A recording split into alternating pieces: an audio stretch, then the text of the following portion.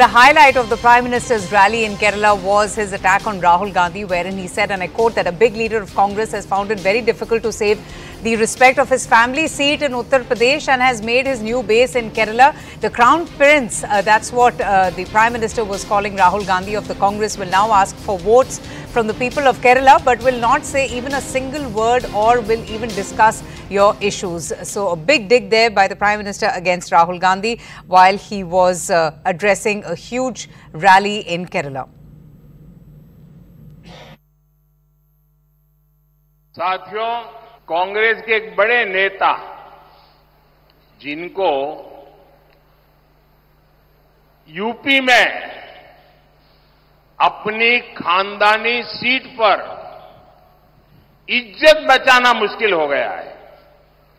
और उन्होंने केरला में अपना नया ठिकाना बना लिया है।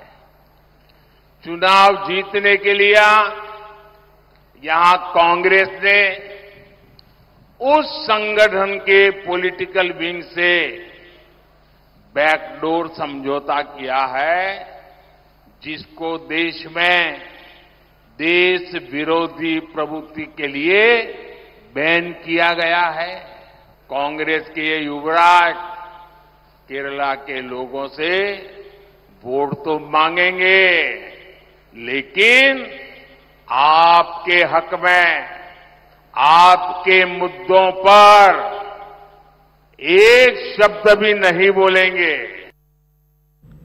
Neetu joins us now for the very latest on the Prime Minister's remarks and his dig at uh, Rahul Gandhi. Neetu, uh, the Prime Minister sharpening his attack at Rahul Gandhi, saying that the Congress's crown prince is finding it extremely difficult to save the family seat honor. Obviously, he was referring to the embarrassing loss at Amethi at the hands of Smriti Irani. But tell us, how really are the people of Kerala reacting to the Prime Minister's visit to the state? He's been holding multiple rallies and addressing huge crowds. Over to you. Prime Minister's rally has always uh, has seen huge crowds in Kerala. Whenever uh, he has come in uh, over the years, we have witnessed huge crowds at rallies uh, in Kerala. Uh, because whatever he says has been has resonated well with the people here, at least uh, among the BJP workers. So the crowds we have always witnessed, but in the last two times we have seen that the uh, voting sh- vote share has increased, but it has not reached a level where they were able to win a seat. But this time, you know, the Prime Minister himself said that this time uh, the seats will be in double digits. So they are making a very uh, um, uh, a huge attempt in the state of Kerala to ensure that they get a seat from this state of Kerala. So in, that way, the uh, Prime Minister's speech was well accepted among the uh, workers, and there has been a, a huge round of applause uh, when the Prime Minister comes in, when he starts to speak, and when he leaves. So the, the reaction of the crowd is huge, whether uh, he's speaking when he was speaking in Kunnamkulam or, or in Thiruvananthapuram. So this attack was uh, directed against Rahul Gandhi, saying that he has now come to Kerala, but he will ask you for votes, but he will not uh, uh, work for you. And he went on to say how the family seat has been lost, uh, taking a dig at the loss in Amethi, and also. Uh, in Thiruvananthapuram, he had sharpened his attack against the Kerala Chief Minister and his daughter. The first time we heard the Prime Minister directly speaking about the uh, the, money uh, that was paid, the corruption allegation. Now an ED inquiry has also uh, gone into this. So where in, in that particular instance, what the Prime Minister said was there is another corruption related to the CMRL and the accused have uh, uh, Uh, uh, uh, now uh, agreed and said that they have given money bribe to right, the right. chief minister and the daughter. So that is something which is an all-out attack against the chief minister once again.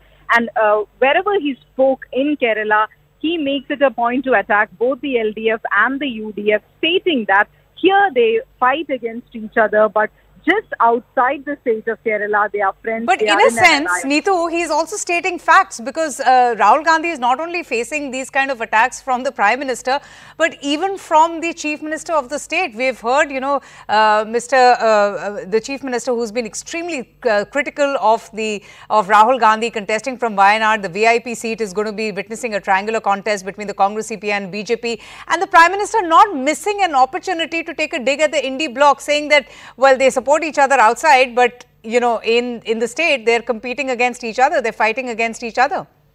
See, uh, from the time uh, the alliance was brought in, from the time uh, when uh, during that time when the opposition India Bloc alliance was formed, that, that after that when the Prime Minister visited here, this is the first thing that he had spoken about, saying Yes. that how they are together here and uh, uh, are fighting here and together in Delhi, uh, how they shake hands in Delhi. But we also need to understand the politics of the state. So here in Kerala, uh, it, uh, to be frank, among the people, this is not a huge issue, though the BJP is Okay. trying to make this because over the years they have seen how the UDF and LDF has fought here. And this is not the first time that the left has been supporting a Congress government, even if it was outside support during the UPA regime. So this is, uh, but in the state of Kerala, Right. they, they are, have been fighting against each other and that is continuing. In fact, the Kerala Chief Minister Pinarayi Vijayan has uh, repeatedly questioned Rahul Gandhi's idea of India. Uh, I'm going to leave it at that. Neetu, thanks so much for joining us. And the Prime Minister highlighting that confusing situation that has emerged in Kerala as both the Congress and the CPI that are part of the Indie bloc at the national level but are competing against each other in the state. This is what the Prime Minister had to say. खुली लूट के कारण केरला आर्थिक तबाही के कगार पर पहुँच चुका है। सरकारी खजाने खाली हो चुके हैं। राज्य सरकार के पास अपने कर्मचारियों को पेंशनर्स को सैलरी देने के लिए पैसे नहीं है। केंद्र सरकार केरला के विकास के लिए जो पैसा भेजती है, उससे राज्य सरकार अपना कर्ज चुकाने में खर्च करती है। और ये लोग केंद्र सरकार पर झूठे आरोप लगाते हुए सुप्रीम कोर्ट गए और सुप्रीम कोर्ट ने ऐसी फटकार लगाई है, ऐसी फटकार लगाई है को उल्टे मुँह वापस दौड़ करके केरल पास वापस आ गए।